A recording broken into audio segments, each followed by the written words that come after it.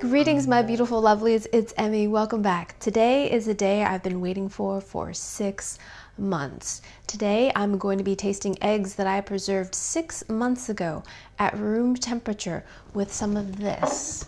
This is called pickling lime, also known as slaked lime or hydrated lime.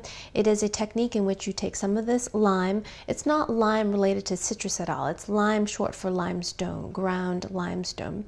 And you dissolve this in water and then you take eggs and you place them in this solution, and it is a way to preserve eggs. Now, this is an old fashioned technique used over 100 years ago. There are other ways to preserve eggs, including water glassing, which is this is sometimes called, but water glass actually uses a chemical called sodium silicate. It's actually used to seal concrete floors. You can buy it in big buckets at the big box hardware stores. It's the same idea. You're sealing the egg, preventing water from escaping from the egg, and also preventing anything from entering the egg. The egg is held in this little form of suspended animation. So I can't wait to get into these eggs. They're in this glass jar. Look at this. A dozen eggs that I preserved way back in May, May 1st, 2019. So if you want more information and specifics on how I did this, I will refer you to the video in which I started this all. So this is a little perfect segue to talk about chickens. So we have backyard chickens, we have five of them, and come springtime, the chickens are laying like mad. Every day we're consistently getting five eggs. Each chicken is laying one egg each. It is time to start collecting eggs into a clutch so they can start incubating them. All of our eggs that come from our chickens are non-fertile. They're not fertilized. They will never ever turn into a chicken because we don't have a rooster to inseminate the eggs. So the chickens still instinctively lay more eggs during this time of year. So we have five chickens, so we consistently get five eggs a day. And soon enough, we've got a whole pile of eggs. Now that we're in November, our chickens are slowing down with the egg production. So now that we're not getting very many eggs, this is a perfect time to dig into our preserved eggs. It smells sweet and almost perfumed, a bit like a bathroom air freshener, just a little bit. Just stick my hand in here and grab an egg. All right. Luckily, from what I can tell, none of them have cracked. So I'm gonna go rinse this off real quick. So here's my egg. It looks like a normal egg, but it does feel different. It's very, very smooth. If you compare it with a freshly laid egg, this has a little bit of bumps and pocks on it and has slightly kind of matte, rough kind of finish to it. Well, this is very, very, very smooth. And I imagine that has something to do with being soaked in slaked lime for six months.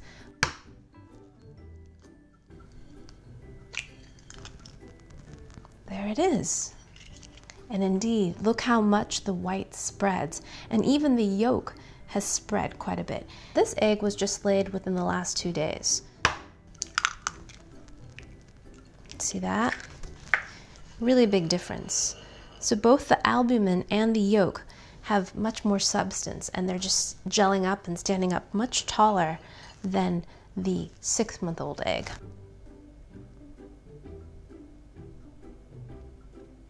So from this angle, you can really see the difference in height. So that is the fresh egg. Here is the preserved egg. Also, you can see how much thicker the albumin is. Look at that compared to that.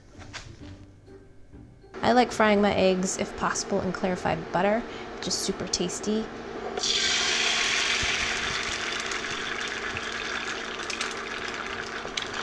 There it is.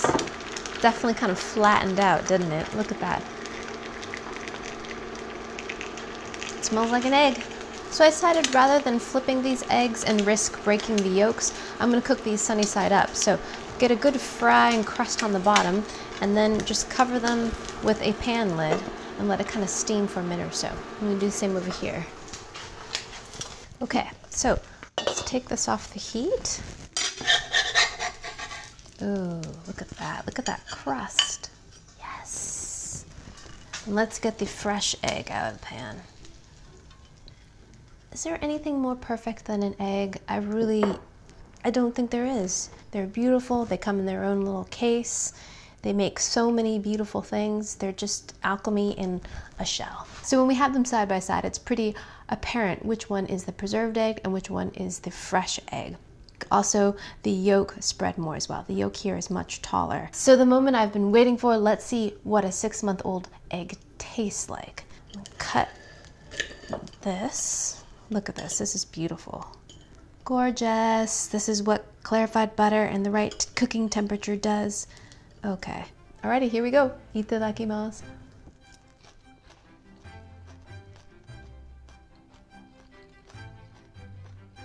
I don't taste any discernible difference. I taste salt. I use plenty of salt. I taste caramelization. I taste egg white, but no kind of any chemical or off flavors whatsoever. Let's compare it with the regular egg or fresh egg. This one too has beautiful caramelization on it. All right, here we go. Mmm. When I eat them side by side, I do notice a difference. The fresh one has much more of an eggy flavor, slightly sulfurous, and the texture is different too. Fluffier, more substantial. This is a little thinner. This was actually a little crispier. So initially when I tasted the old egg, I said, that's not bad, it tastes like an egg. But then when I compared it to the fresh egg, it didn't taste as good because the fresh egg was full of flavor. It was flavorful, has a sulfurous flavor to it, not in an unpleasant way. But when I say sulfurous, I mean that signature eggy flavor. Definitely present. I usually associate that more with the yolk than the white, but in this case, you can definitely taste the difference. So cool. Alrighty, let's try the yolk now. So I'm gonna cut this. This one got cooked a little bit more, and but it still has a nice texture to it. Alrighty, here we go. Mmm, creamy, rich. Actually, very buttery, silky texture to it too. Very nice. Alrighty, let's try that with this egg. This egg has a jellier, runnier consistency because it was taller and it takes longer for a thicker thing to cook. So, oh, this is perfect. This is, I love eggs. Gosh, I love them in all different ways, but here we go. Let's give that one a taste. Mmm. Hmm. Oh my gosh. Fresh eggs, happy hens, such a delicious egg. So buttery, rich, smooth, and actually not very sulfurous at all. So I just learned something. So what I've always associated with eggs in terms of having a sulfurous flavor is found much more in the egg white rather than the yolk. I always had this association that the yolk was the part that tasted sulfurous. It's not, at least in this experiment. It's the white. The yolk is rich and buttery and sweet and just soft and delicious. Now, this would have been a perfectly delicious egg, but when you compare it to an egg that was laid just a couple days ago or today, there's really no comparison.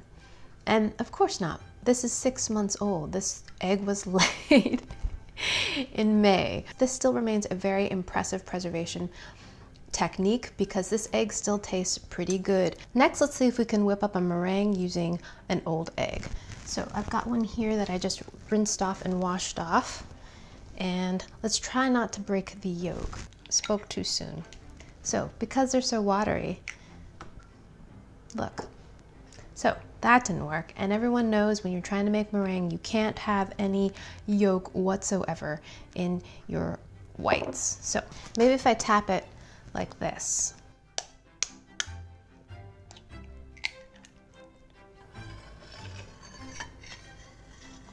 Okay. Got it. Now this, because it's a new egg, I can just lift out the yolk. So if you acidify your egg white with just a few drops of lemon juice or cream of tartar, that often helps to get really nice stiff peaks. So equal amounts for both of these. It's gonna be a little noisy. To hasten things up, I'm gonna go ahead and use my mixer. Why don't we try, you know, adding some electricity because it doesn't work unless it's plugged in.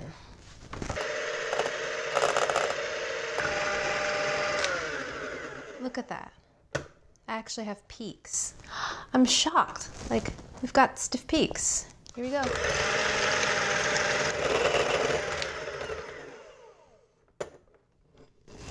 There we go. Here, there just seemed to be more egg white in the egg compared to the other egg, but that also could be the fact that the fresh egg might have been a little bit larger. When we initially cracked the preserved egg, it definitely had a much runnier texture than the fresh egg, but in terms of time, they whipped up in pretty much the same amount of time, and I'm just shocked that we even got meringue from this. This is wonderful, because I read somewhere that it doesn't work, but it does work. Here's my last experiment. I baked with the preserved eggs. I made one batch with the preserved eggs, one batch with fresh eggs. I made a one banana chocolate chip muffin recipe.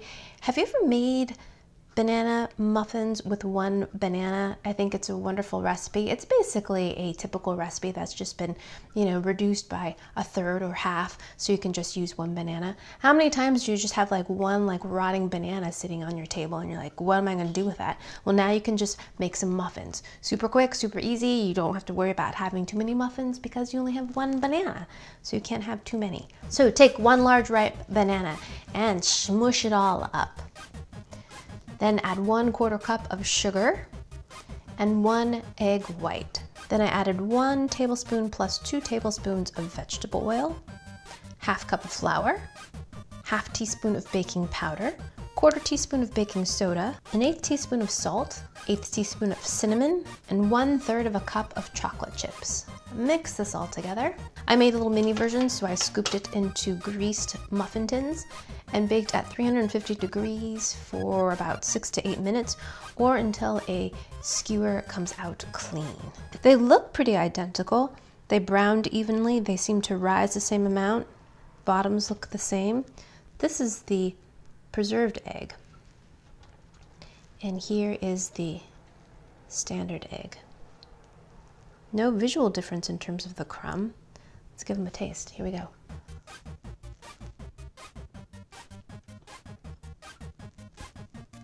Mm-mm. Mm. Have you ever had chocolate chips in your banana muffins, banana bread? Ugh, if you can have chocolate and if you like it, do it. It's the best. Mm -hmm. Perfectly delicious banana chocolate chip muffin. Now, let's compare that to one that was made with a regular egg and see if I notice any difference in texture or flavor. Here we go.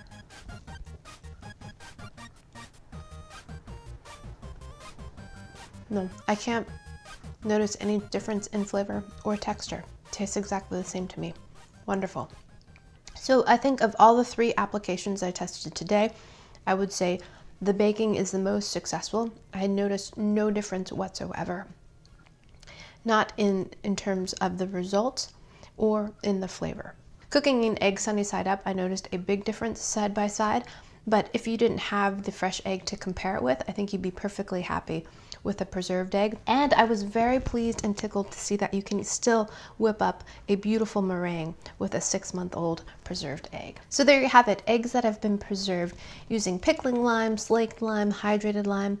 Really great technique if you've got a lot of eggs. Alrighty, thank you guys so much for watching. I hope you guys enjoy that one. I hope you guys learned something. Please share this video with your friends. Follow me on social media, like this video, subscribe, and I shall see you in the next one. Toodaloo, take care, bye!